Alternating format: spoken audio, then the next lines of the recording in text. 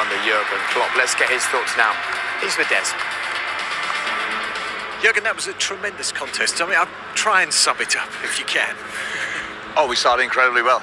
We, we played a super game, a super, super, super intense game, but football-wise as well, really good. Played in all the space we had to play. Didn't give them anything until I don't know exactly. Exactly, we got punished for it in the last few minutes before halftime, but it started earlier.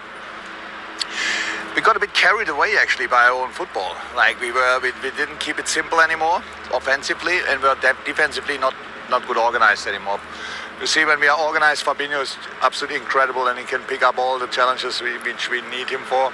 In a moment when the spaces are too big, even he cannot sort it anymore. Last line slightly too deep. They found that way, played in between, scored two goals. Um, was not nice, but it didn't feel like we cannot come back um, in the second half. So it was clear we have to change. We have to immediately to get back to how we started, defensively especially. Um, and then we scored wonderful goals, to be honest. Both were incredible and um, won the game, and I think it's deserved. But we had around about 10 minutes where Milan nearly changed the whole tie. Can you can you enjoy that kind of game? I see Yeah. you talking to your opposing Yeah, yeah, yeah, manager I there. can, I can. a lot of mutual respect. But uh, Oh, can yeah. you enjoy it? I mean, it was Yeah, apart from the 10 minutes. Yeah.